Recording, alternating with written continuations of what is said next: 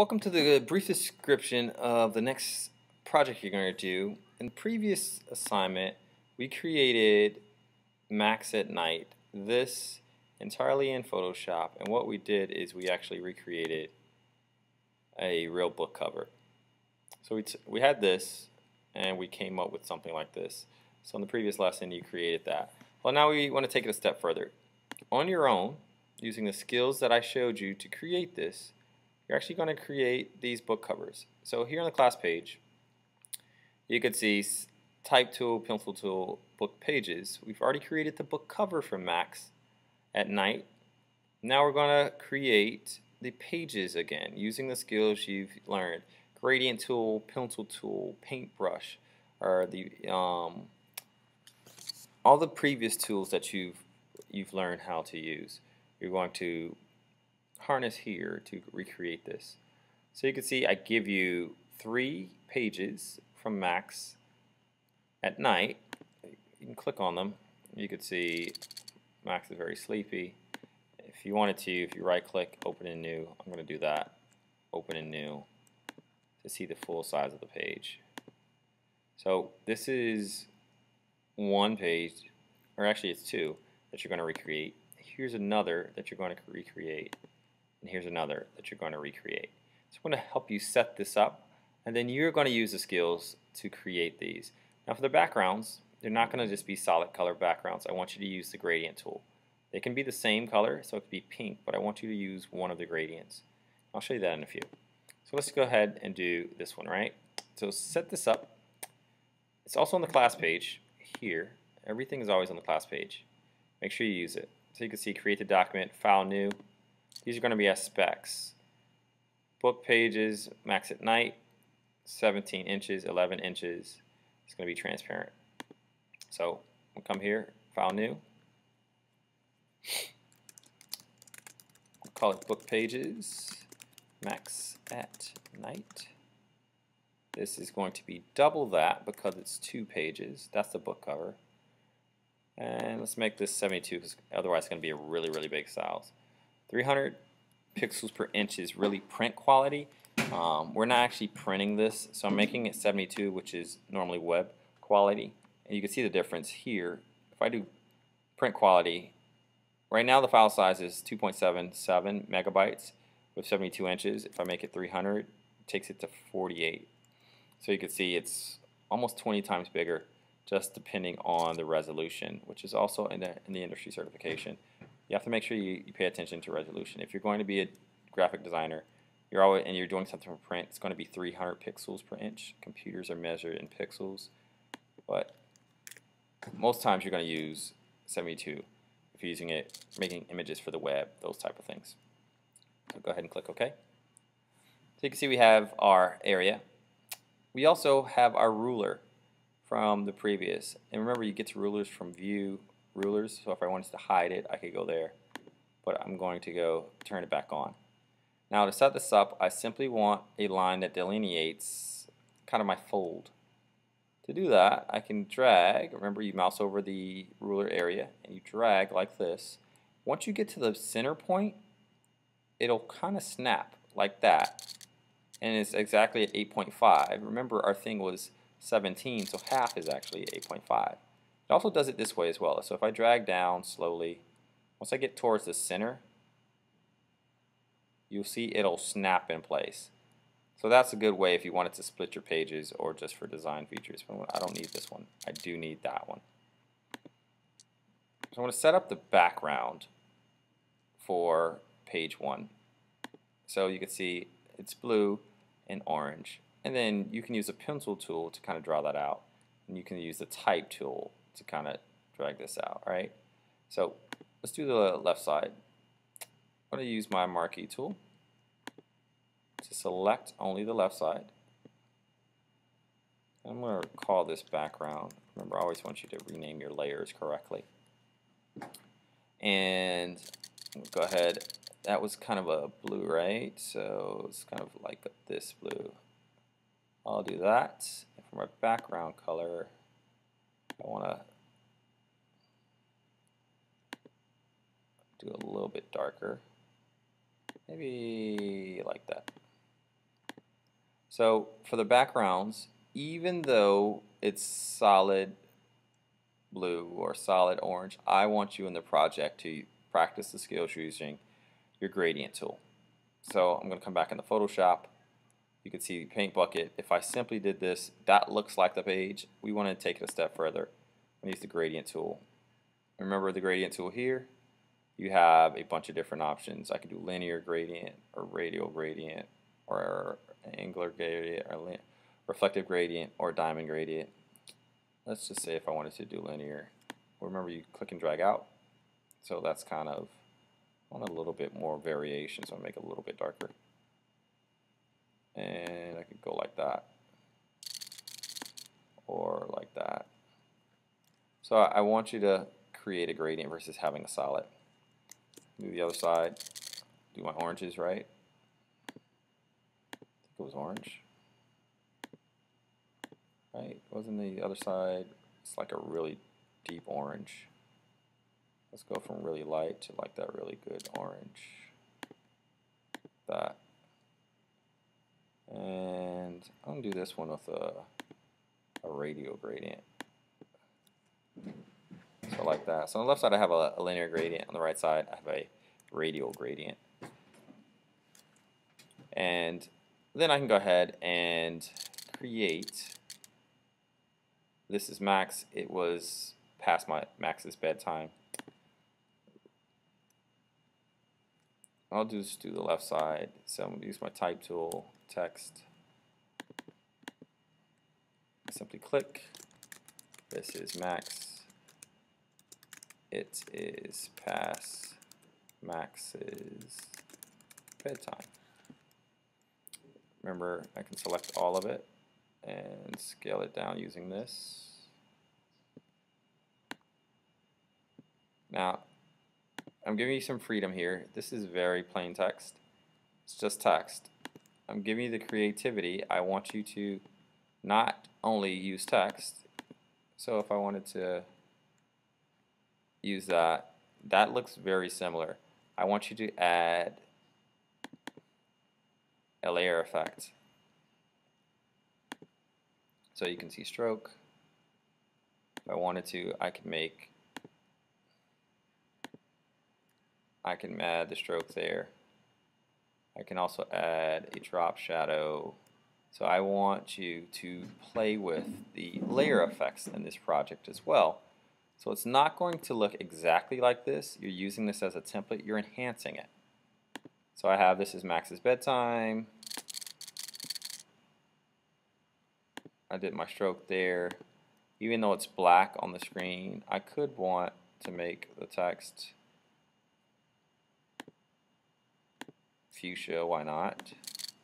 And then I can come back and change my that to to be black or green or blue or whatever. I kind of like that blue. So I have, this is Max's bedtime. I could scale it down.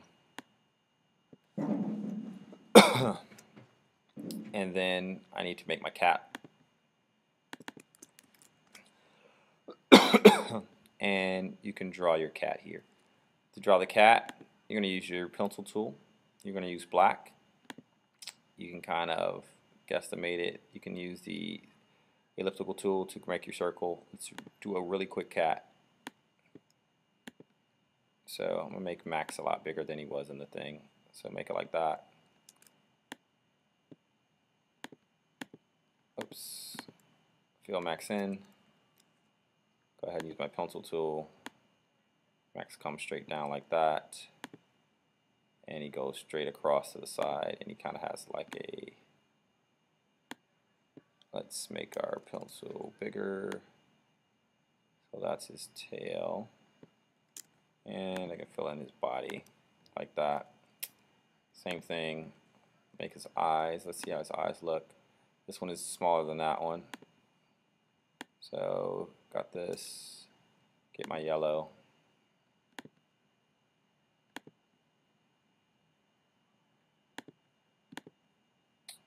Going to fill it in with the paint bucket. His other eye is a lot bigger, like that. Max has really weird eyes. Paint bucket. Use my same marquee tool. How bigger the, so they're a little bit equal. Do that. Fill it in. Do that a little bit bigger. Fill it in. Then use my brush tool paint to draw his ears. Just like we did before, we could add other details. So let's say that was one paw. That was another paw. And that's kind of his body in the background. Let's say that's his third paw, and you can't see one of those. We could add some effects. all we have to do is nose. I made my nose is pink. Max's nose is blue for whatever reason. So I'm going to make mine's pink again.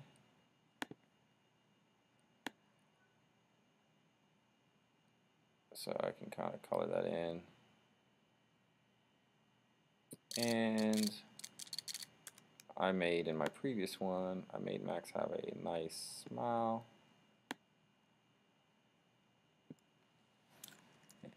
And if I really wanted to, I could add some toes here, making this smaller, like that, and a line like that, a line like that, a line like that.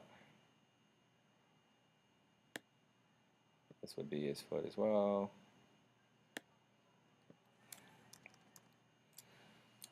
So you can see really quickly I drew Max. So that's page one. So you're looking at this, this is page one, this is page two. So we're going to do all these pages. So you have page three, page four, which is a little bit more difficult. You got to draw this toothbrush and stuff, right? Then I have page five and page six. You got to draw a fish tank, so it gets a little bit harder. So let's set up everything. I'm gonna make a new folder. I'm going to call this page one and two. I'm going to put all this inside of that folder so you can see it's inside of here. So this is cat where I drew my max for that. This is the text for page one. And then I need to draw my stuff over here for page two. But I can put folders inside of folders.